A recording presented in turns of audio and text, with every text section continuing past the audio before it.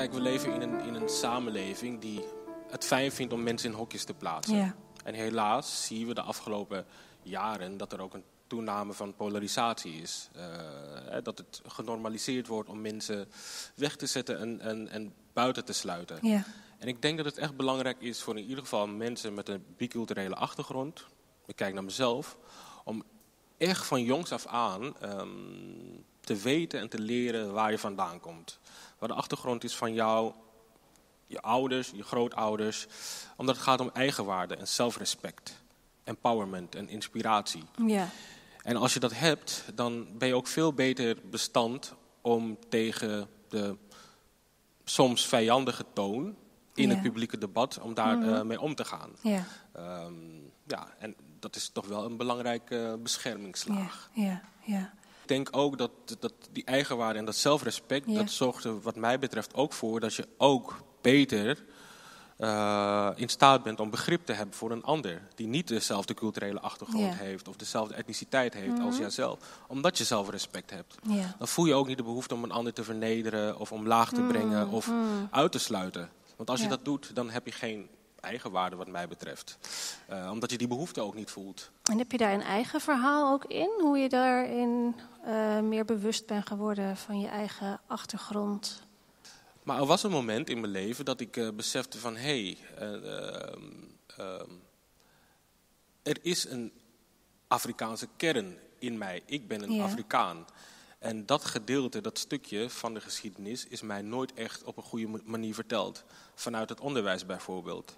En wij hoeven ons niet te definiëren vanuit een eh, Nederlandse eh, eh, context...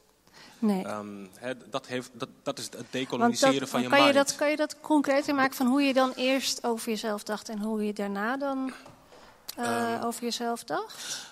Nou, het is niet per se heel erg uitgesproken, maar ik weet wel het moment dat ik dacht van wauw, ik ben Afrikaans en mijn Afrikaanse geschiedenis dat is zo groot, uitgebreid, complex en heeft een rijkwijde van duizenden jaren beschaving.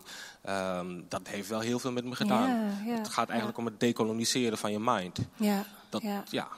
Dus, eh, Want hoe was het dan eerst? Hoe dacht je dan eerst over jouw zwarte identiteit? Of, eh, je zegt koloniaal, dat, eh, ook over dat het- bezetting of slavernij. eh, Ik denk dat voor heel veel mensen dat het gewoon per definitie onderdeel is van de context. Dat als je eh, een koloniale relatie hebt met een land als Nederland, of je komt uit een land wat gekoloniseerd is, dan heb je gewoon elementen van kolonialisme in de structuren.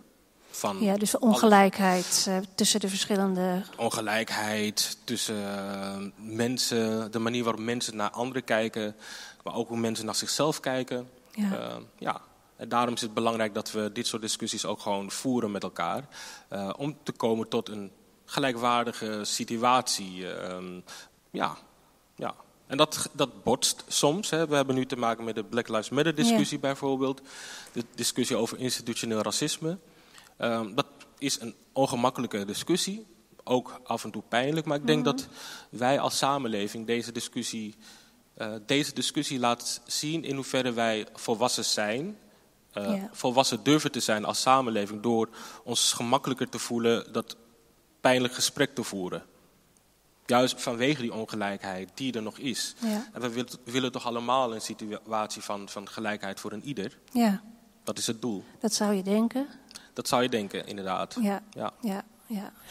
En een eh, ander moment, hè, want de vraag was van, eh, ben ik anders over mezelf gaan Ja. denken? Dat is natuurlijk ook...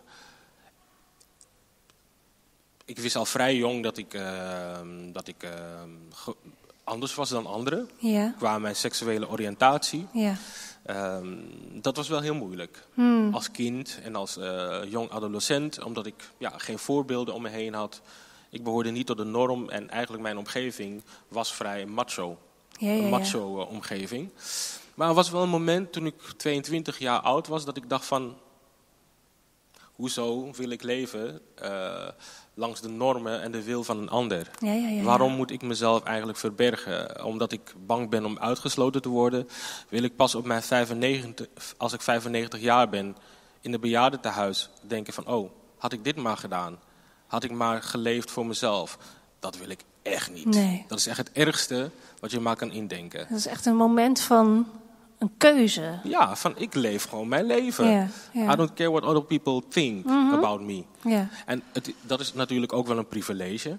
ja, moet ik ook wel bekennen. Ja. Maar er zijn ook heel veel mensen die rond die leeftijd, en als ze jonger zijn, afhankelijk zijn van familie. Dus dan kun je, familie die dat misschien niet tolereert, maar je bent wel afhankelijk. Dus je moet wel in de positie zijn hè, om, om die keuze durven maken. Ehm, en mijn familie heeft mij niet verstoten of wat dan ook. Nee, dus dat moet ik wel even Was je daar benoemen. bang voor? Ik was daar wel bang voor Ja. natuurlijk. Ja. ja, Ja. ja. ik was daar wel bang voor. Wat heeft het je gekost en wat heeft het je opgeleverd om die keuze te maken? Het heeft me voor alleen maar dingen opgeleverd. Het heeft je alleen maar dingen Het opgeleverd. heeft me alleen dingen opgeleverd. Ja. Ja, alleen maar. Ja, ja, ja, ja, ja. Ik zou niet anders willen. Ik wil geen hetero zijn. Nee, Nee. nee. En wat Nee. heeft het je opgeleverd? Emancipatie. Ja, ja, ja, ja. Ik had het net, net over emancipatie als zwarte persoon, als zwarte man. Ja, Maar dit is, dit is ook emancipatie. ja, ja.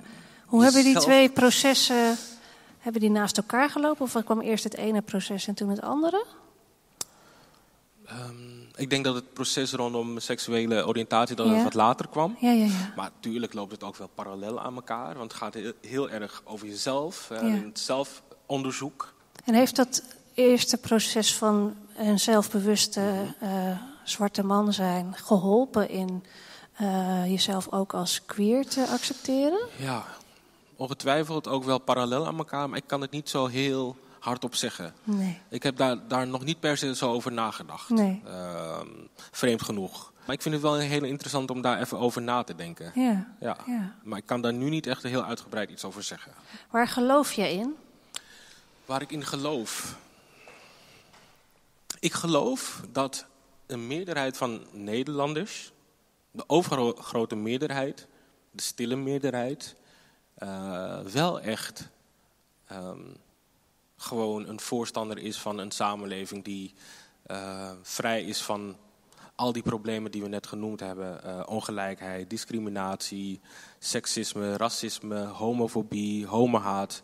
Overgrote gedeelte van de Nederlanders die, die wil dat. Ja. Ehm, en terwijl de media ons anders wil doen geloven. Ja. En ook heel Ja. veel politici die willen Ja. ons anders doen geloven. Dat we ontzettend gepolariseerd zijn. Dat we tegenover elkaar staan.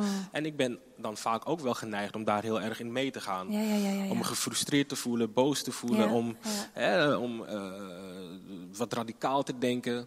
Maar in feite, nee. Ik denk dat, dat de werkelijkheid Mooi. toch wat anders zit. En daar haal ik mijn inspiratie uit. Om, eh. Om bezig te zijn. Mooi. Ja. Ja. Mooi.